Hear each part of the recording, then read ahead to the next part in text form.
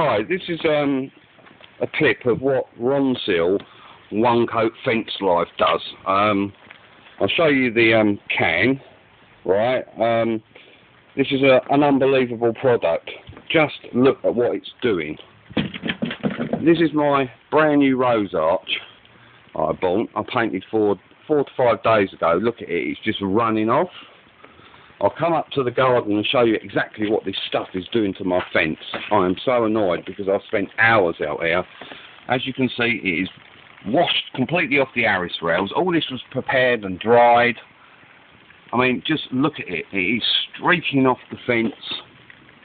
You know, it's just so upsetting to see all your hard work wasted. Look, this is what it's actually doing. This is all prepared, rubbed down, and this is what it's doing. I've sent an email to Ronseal, but they just don't seem to want to know. Uh, I'll tell you how I know that, because across my fence, my neighbour has done his decking.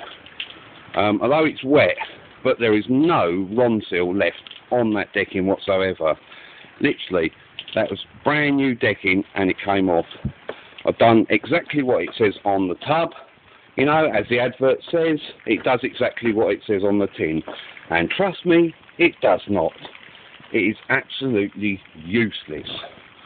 You know, how would you feel doing all your hard work to end up seeing this? It is just unbelievable. Look. Unbelievable. Don't buy it, it doesn't do what it says on the tin.